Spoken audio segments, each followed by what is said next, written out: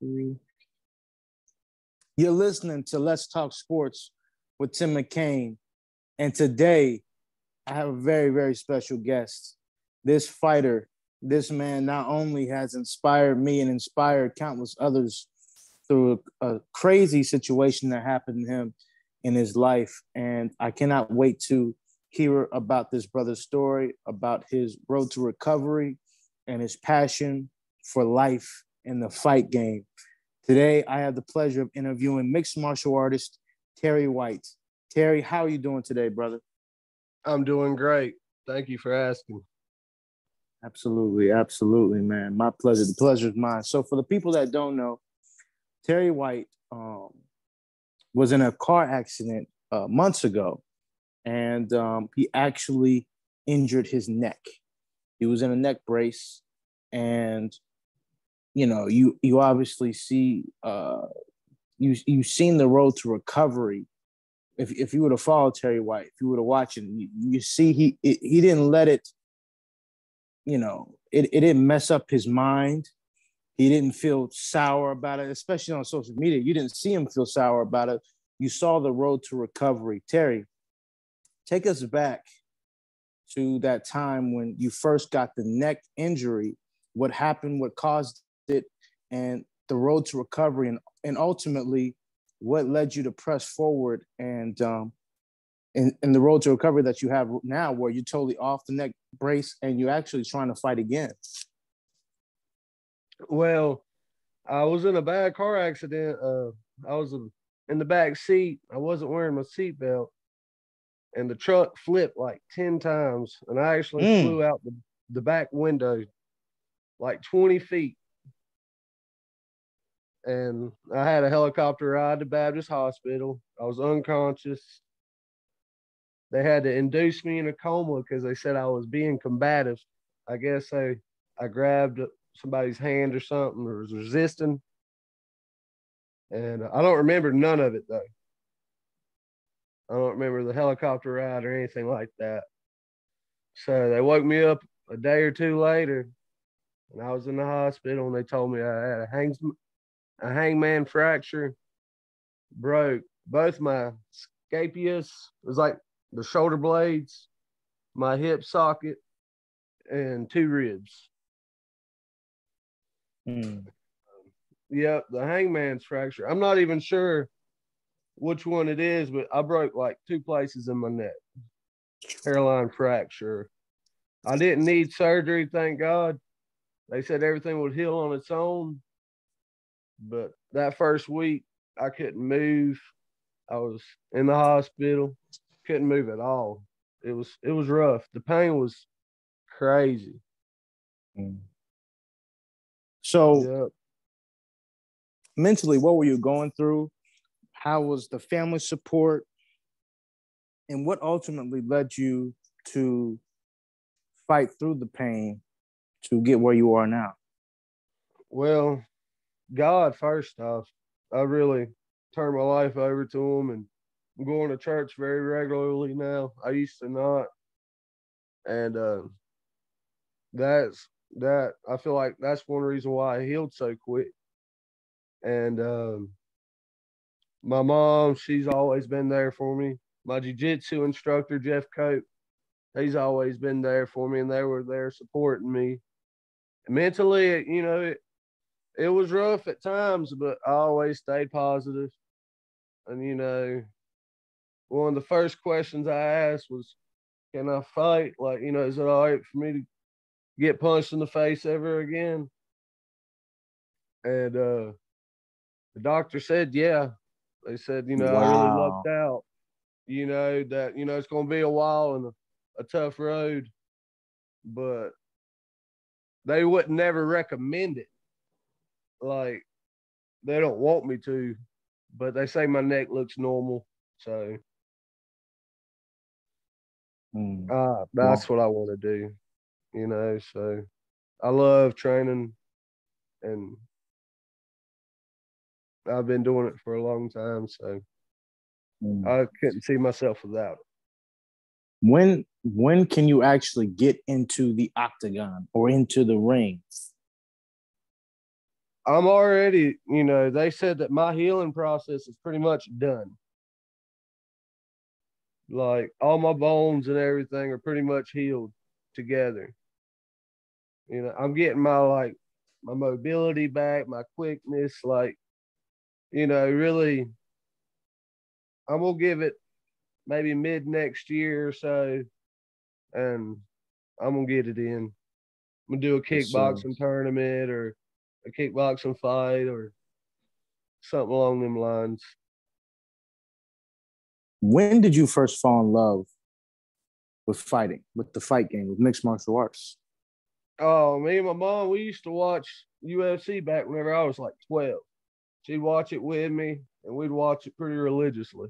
I was always a wrestler. Like, I grew up wrestling with my older brother because he wrestled. So, and um, started doing jujitsu at ground control whenever it was like 2010, 2009 or something like that.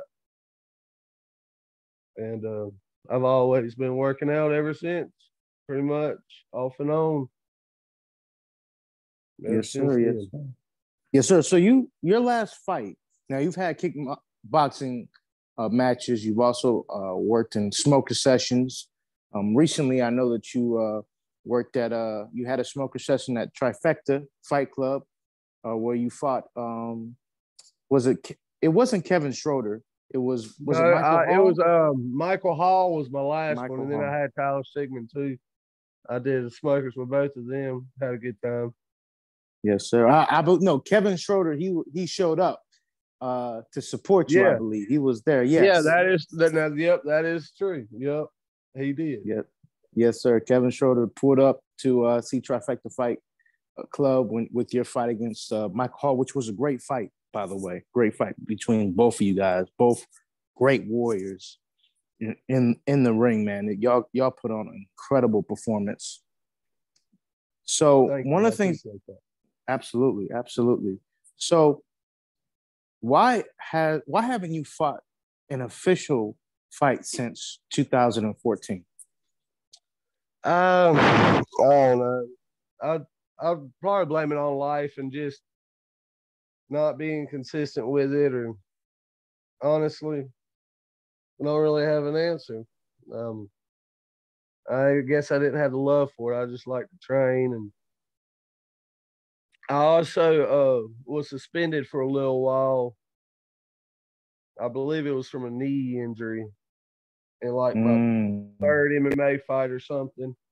And I never, I did never have insurance. I didn't ever go to the doctor to get cleared. And guess I just took a break from it for a long time. Like just not competing. I was always working out and training. I just really wasn't competing. Mm. Mm. And um, yeah, it's pretty much. I, I hate that because I feel like I wasted so much time. I mm. wasted so much time. But I'm 29 and I feel like, you know, that's still so it, young. I still have time to, you know, I don't plan on ever going like pro or anything like that, but I want to have a good amount of amateur fights, you know. Yes, sir. I mean, 29 is still very young. I mean, in, in terms of life, 29 is really young and um, you know, people and pe- people can fight until their their forties. You've seen it. Yep. You see it all the time. Dexter just won at forty two. Yes, sir. So you know, age is nothing but a number in terms of the fight game. Twenty nine is still re- really relatively young, um, in my opinion. So, and I and I know that we kind of talked about this off air, where you talked about how this injury actually re-inspired you to fight again to fight officially, not just not just to have a smoker session, not just for um, you know uh, an event, but actually a potential official fight.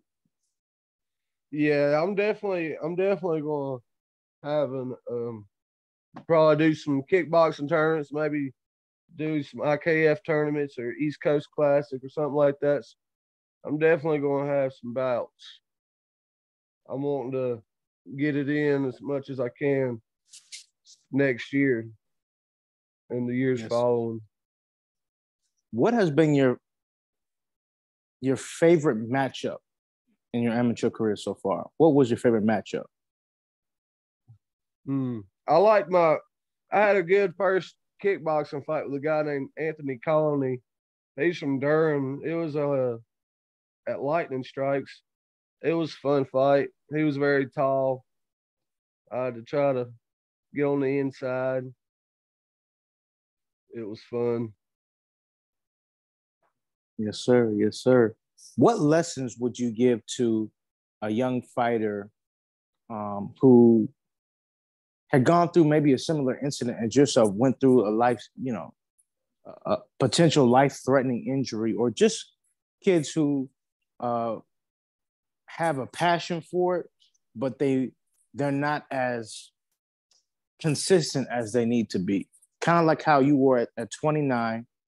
What would you tell a young person who you see has talent like yourself, but they either went through a traumatic experience or they're not as consistent as they should be? What would you tell them? To, you know, that life's short and to follow your heart and to, that if you want to do it, be determined, never give up, no matter what, even if you break your whole body. If it's pieced back together, you can do it. You can do, you it. Can do it. You can. I love it. that. You can do it. Those are the words from Terry White, amateur mixed martial artist. You can do it. Terry White, you have an incredible story, and we we will continue to follow you in your career. I really appreciate you um, giving us a few moments of your time. And I appreciate um, you having me, man. I really absolutely, do. Absolutely. And I want to say, you know, God, God, God be the glory honestly. Yes, sir. Love that. God be the glory. Yes, sir. Absolutely. Well, that's that's it for Let's Talk Sports with Tim McKain. Uh, here with Terry White. Y'all have a good one. Thank you, brother. All right. Peace.